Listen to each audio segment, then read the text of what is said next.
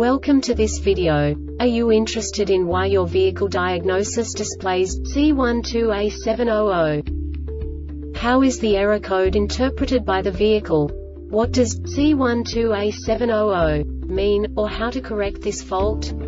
Today we will find answers to these questions together. Let's do this. First, let's look at the history of diagnostic fault code composition according to the OBD2 protocol, which is unified for all automakers since 2000. We divide the electric system of automobile into the four basic units. Powertrain, body, chassis, network. This distribution is defined in the first character code. If the second character is expressed as zero, it is a standardized error.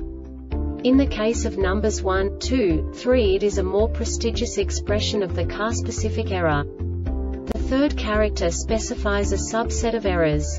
The distribution shown is valid only for the standardized DTC code. Only the last two characters define the specific fault of the group. The add-on to the error code serves to specify the status in more detail. For example, a short to the ground.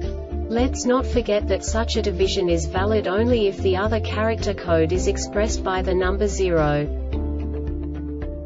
Our website airbagreset.sk produces useful videos for you. You do not have to go through the OBD2 protocol anymore to know how to troubleshoot any car breakdown. You will find all the diagnostic codes that can be diagnosed in a Chevrolet vehicles. Also many other useful things. The following demonstration will help you look into the world of software for car control units. You unbelievably can move the video a bit further. The error code is split into two bytes consisting of 16 bits. One bit is the basic unit that each computer works with. The bit has two logical states. 0, low level, 1, high level. By combining the first two bits, the basic character of the error code is expressed. The next two bits again determine the second character. The last beat styles of the first byte define the third character of the code. The second byte is composed of a combination of 8 bits. The first 4 bits determine the fourth character of the code. And the combination of the last 4 bits defines the fifth character. A single byte conceals 256 possible combinations. We now know in what way the diagnostic tool translates the received information into a more comprehensible format. The number itself does not make sense to us if we cannot assign information about it to what it actually expresses.